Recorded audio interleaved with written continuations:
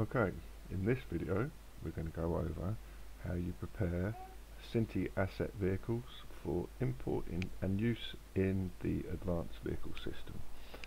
Um, open up Blender, like I've done here, go to General and select everything in the scene and delete it. Seen that done before many times. So the next thing you want to do is go File, Import, FBX, navigate to the directory that's got your Synty source files for the vehicle you're after. We're going to go for the buggy, select that, and also all the attachments that go on it. Select all of them and import them all. Bang. Um, next, you want to make sure that the vehicle is facing along the x-axis, like that, because that's the way Unreal works.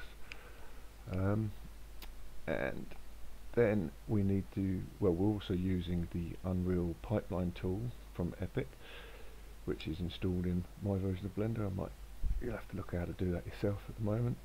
Um, but what we need to do is set up the preferences for the to Unreal add-on and the paths. This is the directory within the currently active version of Unreal into which it will export the files. Um, game you need there and then this is basically your content directory vehicles and we're going to put it in APOC buggy how about that? So we save that.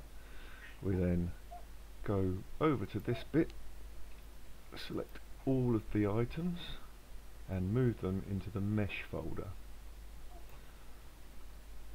Check everything's in there actually do it again I think. Just move everything across. Right so now everything that was in the collection is now in the mesh folder. You then select everything by pressing A. Go to the pipeline tool click on export click on send to Unreal and bang off it goes. It'll work it out for you. And if we go to Unreal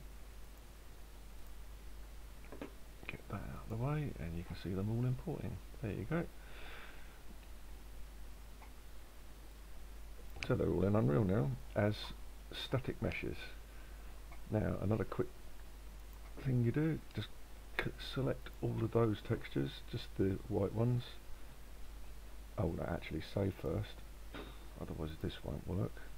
But when they're all selected, delete them, go down to the replace and replace them with your apocalypse vehicle, well the, the, the right texture basically. Off, replace them. And do the same with these.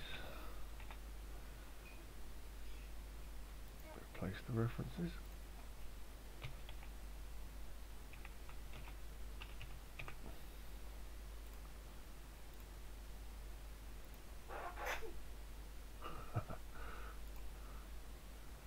Then do the same with the glass. But obviously select the APOC vehicle glass.